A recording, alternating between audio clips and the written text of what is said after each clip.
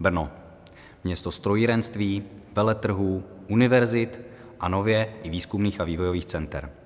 Jedním z nich je NETMI Center, Centrum nových technologií pro strojírenství při Fakultě strojního inženýrství VUT v Brně. Centrum staví na kvalitní vědecké a výzkumné základně fakulty, která patří mezi nejlepší strojní fakulty ve střední Evropě. Jedná se o projekt, který byl podpořen operačním programem Výzkum a vývoj pro inovace. Projekt NetMe Center byl vyhodnocen jako nejlepší v dané prioritní ose. Pracovníci centra se zabývají především energetikou a ekologií, ale také mechatronikou, leteckou a automobilní technikou, virtuálním navrhováním a zkušebnictvím a progresivními kovovými materiály.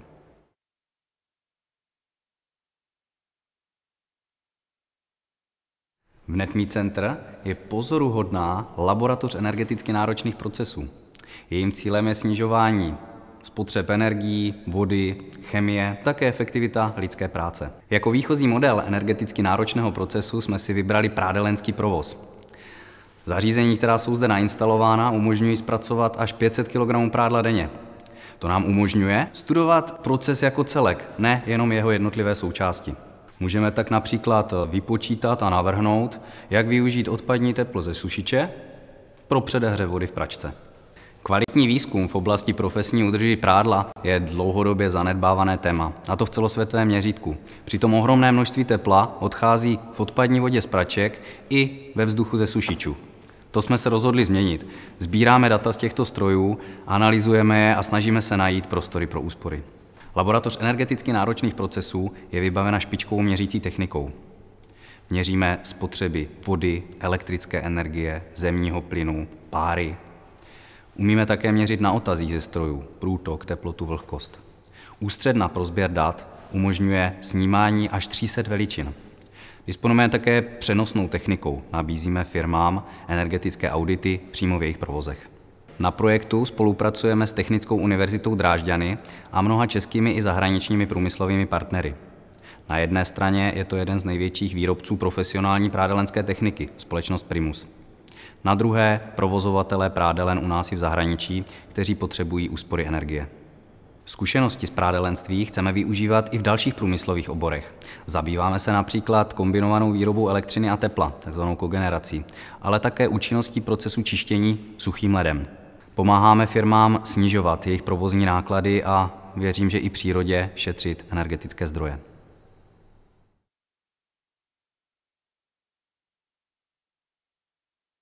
Laboratoř přenosu tepla a proudění se zabývá řadou procesů z oblasti vedení tepla, přenosu tepla, tepelných výměníků, chlazení a podobně. Jedním z projektů realizovaných v rámci laboratoře přenosu tepla a proudění je takzvaná zkušebna pro měření výkonu otopných těles.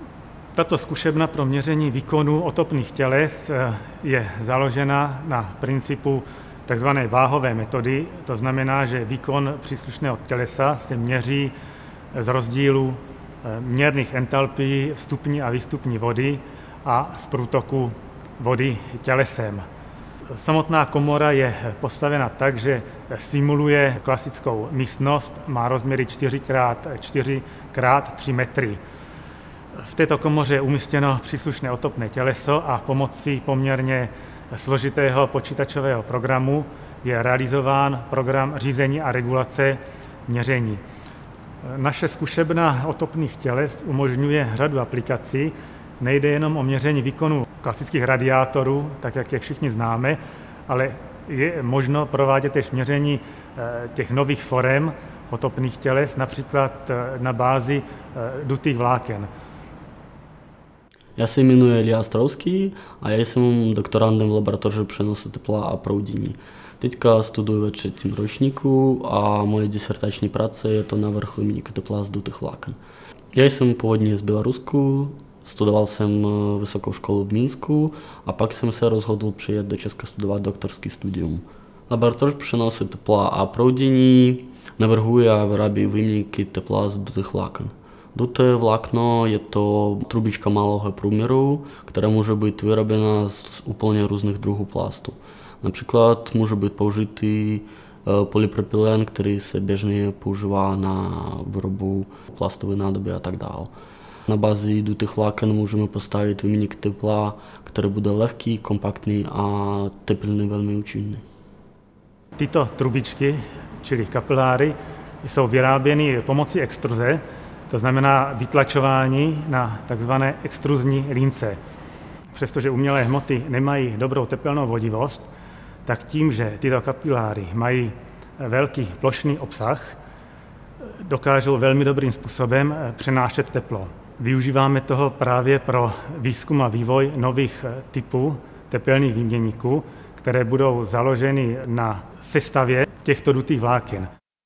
Využití bude možné ve vzduchotechnice, klimatizacích a v otopných tělesech. Umělohmotné výměníky můžou časem nahradit klasické kovové materiály. Tato unikátní technologie má přímou vazbu na šetrnost k životnímu prostředí na naší planetě Zemi. V budoucnosti se chceme zapojit i do evropského projektu Horizont 2020. Těšíme se na spolupráci s vámi.